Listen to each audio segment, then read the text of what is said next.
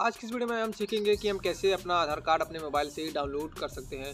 इस वीडियो में मैं आपको अपना आधार कार्ड डाउनलोड करके दिखाऊँगा। उस स्टेप को फॉलो करके आप भी काफ़ी आसानी से अपना आधार कार्ड डाउनलोड कर सकते हैं अपने मोबाइल से या फिर किसी दूसरे का आधार कार्ड अगर आप डाउनलोड करना चाहते हो तो आप काफ़ी आसानी से दूसरे का भी आधार कार्ड डाउनलोड कर सकते हो। आप लोग वीडियो को लास्ट तक वॉच करते रहिए, चलिए शुरू करते हैं। सबसे पहले आपको प्ले स्टोर से एम आधार एप्लीकेशन डाउनलोड कर लेना है। इसका लिंक मैं आपको वीडियो के डिस्क्रिप्शन में दे दूँगा। एप्लीकेशन डाउनलोड करने के बाद आपके सामने आएगा सबसे पहले मोबाइल नंबर डाल के वेरीफाई करने के लिए। तो आपको कोई भी मोबाइल नंबर डाल देना वहाँ पे और वेरीफाई कर लेना है। उसके बाद कुछ इस तरह का लुक आपके सामने एम आधार एप्लीकेशन का रहेगा। आप ऑनलाइन भी आधार कार्ड डाउनलोड कर सकते हो। सेम यही प्रोसेस रहेगा, आप ऑनलाइन भी अपने आधार कार्ड को काफ़ी आसानी से डाउनलोड कर सकते हो, लेकिन वहाँ पे प्रॉब्लम फेस करने पड़ते हैं। कभी भी नेट हमारा स्लो हो सकता है और कुछ भी प्रॉब्लम आते रहते हैं। तो इसके लिए अगर आप अप्लीकेशन से करेंगे तो काफ़ी ईजी रहेगा और अप्लीकेशन में आप जो ऑनलाइन देखेंगे सेम अप्लीकेशन में भी वो देख सकते हैं यहाँ पर और ईजिली यहाँ से डाउनलोड कर सकते हैं। तो यहाँ पे हमें हमारा आधार कार्ड डाउनलोड करने के लिए यहाँ पे आपको सिंपली ऊपर ही मिल जाएगा डाउनलोड आधार का ऑप्शन। तो आपको सिंपली इस पर क्लिक कर देना है। अब यहाँ पे आपके सामने आएगा सिलेक्ट परफॉर्मेंस यानी कि आप अपना यहाँ पे रेगुलर आधार जो यूज़ करते हैं हम वो डाउनलोड करना चाहते हैं या फिर मास्केट आधार। तो मास्केट आधार में क्या रहेगा कि आपका जो आधार नंबर रहेगा, वो शो नहीं करेगा। तो यहाँ पर अगर आप रेगुलर डाउनलोड करते हैं तो यहाँ पर आपका आधार नंबर भी शो करेगा। तो इस पर हम क्लिक करेंगे। अब यहाँ पर आई हैव यानी कि हमारे पास क्या है, जिससे हम अपना आधार कार्ड डाउनलोड करना चाहते हैं। आधार नंबर या फिर वर्चुअल आईडी नंबर या फिर इनरोलमेंट आईडी नंबर। तो यहाँ पे हम अपने आधार कार्ड नंबर से ही अपना आधार कार्ड डाउनलोड करने वाले हैं।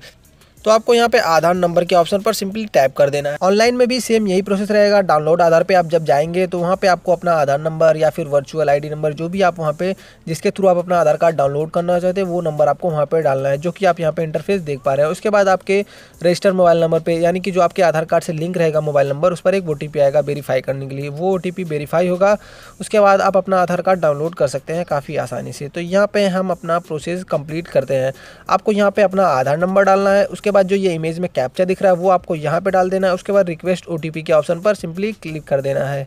अब आपके आधार कार्ड से जो भी नंबर लिंक होगा रजिस्टर होगा उस पर एक ओटीपी आया होगा वन टाइम पासवर्ड उसे आपको यहाँ पे फिल करना है उसके बाद वेरीफाई कर देना है। सो so, अब आपके सामने आएगा इस तरह का इंटरफेस इंपॉर्टेंट नोट जैसा कि आप यहाँ पे देख पा रहे हैं।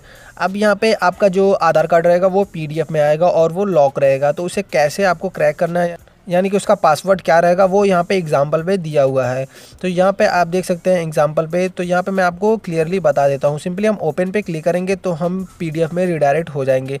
यहाँ पे हमारा पासवर्ड जो है, हमें वो फिल करना है। तो तो यहाँ पे पासवर्ड क्या है, मैं आपको एग्जांपल के तौर पर बताता हूँ। जैसे कि आप स्क्रीन पर देख पा रहे हैं कि यहाँ पे मान लीजिए किसी का नाम अजय है और उसका लास्ट जो ईयर है डेट ऑफ़ बर्थ यानी कि उसका जो लास्ट ईयर है, वो उन्नीस सौ निन्यानवे। तो आपको ए जे ए वाई करके फोर डिजिट डालना है, उसके बाद आपका उसका लास्ट जो ईयर है, वो डाल देना है उन्नीस सौ निन्यानवे। उसके बाद सिंपली ओपन पे क्लिक कर देना है। तो यहाँ पर मैं अपना पासवर्ड क्रैक करता हूँ।